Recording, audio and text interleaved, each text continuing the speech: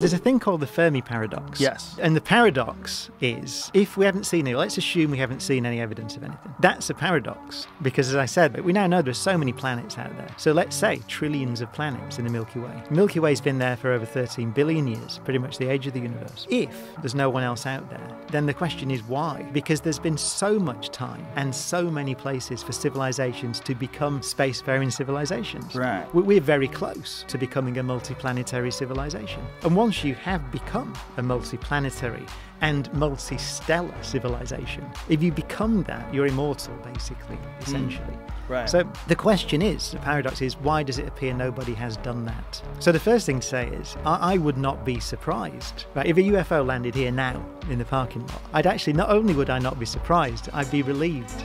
Because I'd be like, this is good because it'd be a weight off my shoulders because I'm worried Right. That we're the only that ones. we're the only ones. That's a terrifying scenario.